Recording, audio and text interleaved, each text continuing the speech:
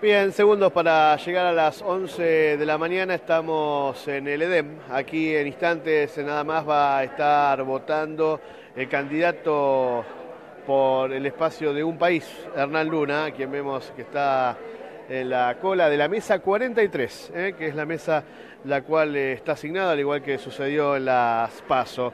Una escuela, eh, el EDEM, con mucha concurrencia, sobre todo eh, en los últimos minutos, más allá de lo que ustedes pueden estar viendo aquí en el, en el hall central, eh, hay una forma que se está utilizando en, el ingreso donde las autoridades van llamando a vecinos que tienen que votar en las diferentes mesas eh, y los van haciendo ingresar por cantidades de a 5. De esta manera lo que se evita es que se armen largas colas aquí, adentro de la, de la escuela, y que la gente vaya esperando y vaya ingresando en forma ordenada eh, desde la puerta de ingreso. Como pueden ver aquí las mesas, esta es la 42.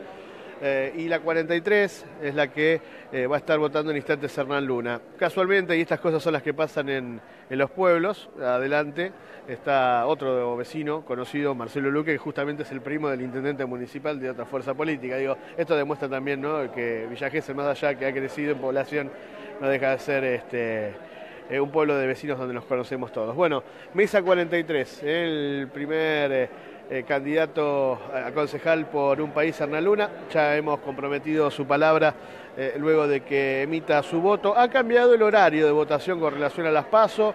en la anterior ocasión lo hizo después del mediodía y ahora lo hace en estas horas de la mañana. Recibíamos información hace instantes nada más, información que envía eh, la, la, Superintendencia de la Policía Atlántica Sur, eh, que habla de a las 10 de la mañana un 10% del padrón ha votado en Villa Gesell.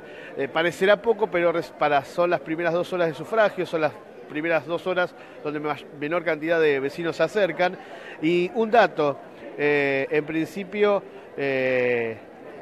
Villa Gesell con ese 10% de nuestra región es la ciudad con más eh, porcentaje del padrón que ha votado, ya que Pinamar tenía eh, un 8% y Madariaga un 6%. ¿eh? Bueno, esto era dato de las 10 de la mañana, ya ha pasado una hora más, obviamente que ese porcentaje se ha incrementado, pero como decíamos, hasta las 10 había votado el 10% del padrón de Villa Gesell. termina de votar, como decíamos, el vecino Marcelo Luque quien ingresará al cuarto oscuro es Hernán Luna candidato por un país eh, que busca renovar la, banca la cual ha accedido hace justamente cuatro años atrás, en aquel momento por el Frente Renovador, hoy Fuerza que está en alianza junto con el espacio de Margarita eh.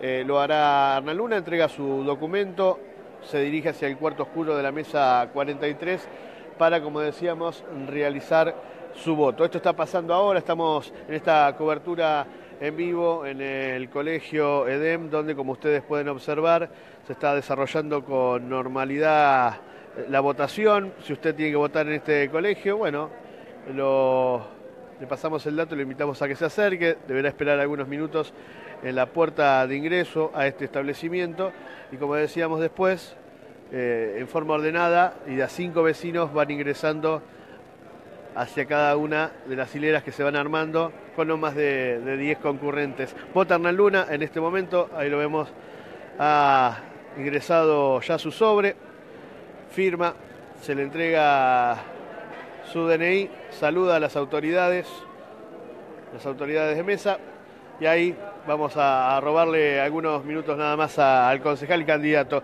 Una buena voto. Cambió el horario con relación a las pasos, eh, no era cábala. No, en realidad siempre, como laburo como, como, como uno más, siempre es como se dé. Así que tuve que venir a traer un termo de agua y, aproveché y voté. Así que bueno, por suerte eh, en todos los colegios se viene desarrollando con normalidad, que es lo más importante. Así que bueno, eh, veremos, veremos cómo nos va. Comenzó con más agilidad, menos ausencia de autoridades, y esto era un, es un buen pronóstico. Menos ausencia de autoridades y muy poca gente votando a la mañana temprano, muy poca. Estuvimos en la escuela 6 hace un ratito, donde siempre el tránsito es complejo, entramos lo más bien, así que ahora sí, empezó la gente a venir, eh, tarde, así que bueno, se lo tomó con tranquilidad como tiene que ser. Sí, sí, pero esto pronostica que puede haber una buena concurrencia. Recién cruzábamos información y se habla de una buena concurrencia hasta ahora. Seguramente estaremos en lo histórico de Villa que está alrededor del 72, 73%. En la anterior creo que estuvimos en un 67%. Así que seguramente habrá 1.500 personas, 1.800, 2.000 personas más votando. Eh, ¿Cómo sigue su día? ¿Ya votó? ¿Ya sacó la obligación? Y, pero seguramente que seguirá trabajando, ¿no? Sí, vamos a recorrer los colegios. Ahora tenemos que ir al local. Eh, estaremos ahí tenemos con el tema de los cómputos, viendo, digamos, eh, tenemos disponibilidad de movilidad para la gente.